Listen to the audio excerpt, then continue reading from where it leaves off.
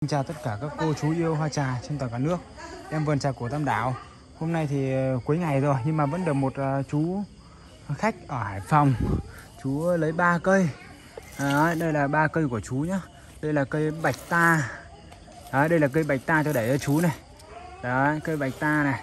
Đấy, Cháu sẽ uh, Cây cháu sẽ ghi vào tên tem tên cho chú Và cháu sẽ dùng lấy thít cho thít cho chú luôn nhá dùng dây thít này cho thít vào cành cho chú về để chú biết phân biệt cây và chú đánh dấu đôi khi mọi người chưa hiểu về cây thì mọi người đôi khi không có phân biệt được cây thì em sẽ bên vườn sẽ tác tên cho mọi người tác để đánh dấu tên cho mọi người để mọi người có thể là về nhà mọi người có thể trồng vào chậu hoặc mọi người ai hỏi cây gì thì mọi người còn dễ biết đó đây là cây bạch ta nhá đó mọi người nhìn đấy nhà em bán chuẩn mặt hàng con giống mọi người chỉ cần nhìn thấy cái lá là mọi người nhận ra ngay đây là cây cây bạch ta này tiếp theo là chú thích một cây hoa màu đỏ thì em lấy cho chú cây đỏ cung đình này. Đó đây là cây đỏ cung đình các bác nhá. Cây đỏ cung đình này. Đỏ cung đình rất là đẹp luôn. Đó, cây đỏ cung đình này đó. Cũng đã ghi tên tên vào vào thẻ này. Cũng đã ghi tên vào thẻ là đỏ cung đình cho chú này. Đấy về là chú có thể là sang chậu hay là chú trồng ra đất nhưng mà chú vẫn có cái thẻ này chú treo ở cây á.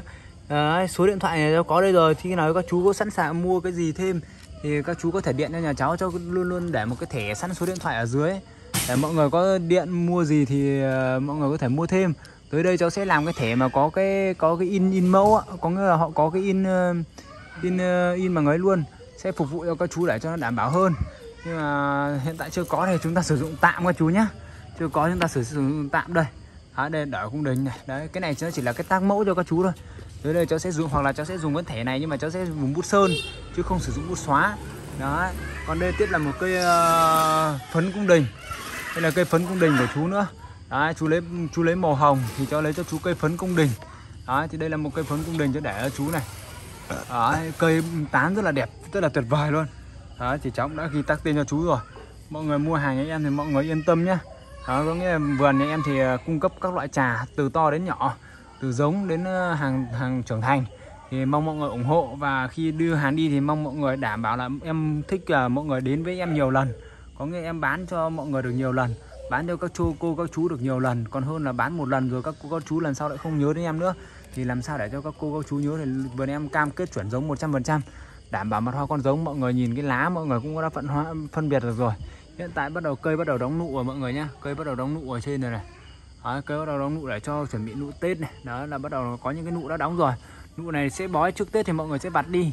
Còn đâu thì đợt sau thì đợt tháng 6 này thì mọi người để lại để chơi tết nhé bắt hoa tết nhá thôi em vần vườn trà cổ tâm đảo xin phép là kết thúc video.